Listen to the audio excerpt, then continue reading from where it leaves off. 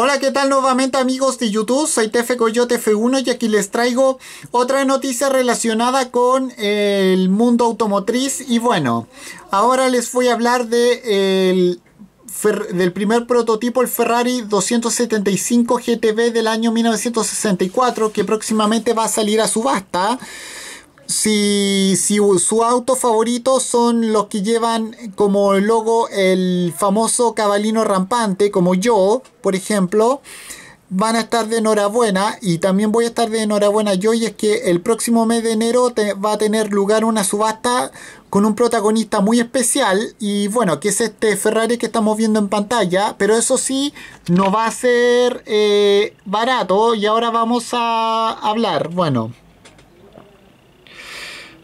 si alguien tiene dinero y lo que buscan son, son un auto muy especial que sea difícil de encontrar por su exclusividad, bueno, el lugar idóneo para encontrarse con su próximo mejor amigo son, son algunas de las subastas que se celebrarán, que se celebran a lo largo del año en distintas en distintos lugares del mundo, celebradas por compañías especializadas en encontrar, bueno, todo tipo de rarezas y bueno, porque el próximo día 18 de enero va a tener lugar una subasta muy especial en Arizona, Estados Unidos, organizada por la compañía Gooding Co.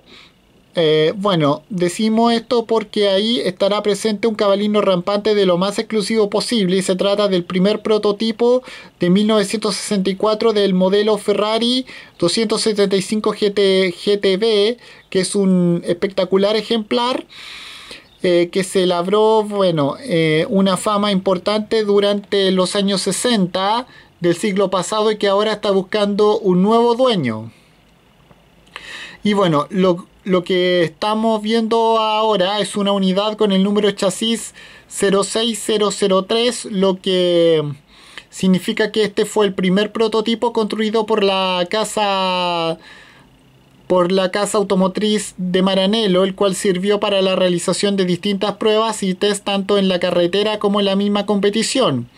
Cuenta con algunos detalles singulares como un morro alargado, un tono amarillo lo prototipo, capó específico y unos faros y unas luces frontales adicionales entre otras cosas. Y bueno, dado que por aquel entonces no existía, eh, no existía aún el circuito de prueba de Fiorano, la marca tuvo que realizar toda una serie de pruebas en carretera abierta, así como en algunas eh, pruebas de competición en la que se inscribió este automóvil, entre las que se destaca el Rally Monte Carlo del año 1966.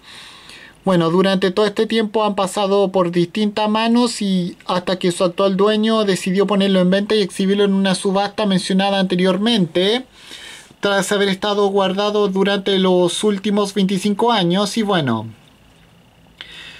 de, debajo del capó eh, de este auto se encuentra tan especial un motor V12 Colombo de 3,3 litros, el cual podía llegar a ofrecer hasta 320 caballos de fuerza y gracias a 6 carburadores de doble cuerpo Weber y bueno además podía presumir de ser el Ferrari el primer Ferrari en recurrir a una transmisión manual con 5 eh, marchas trans, Transax con un diferencial de, deslizamiento limitado, limitado tarado al 75%.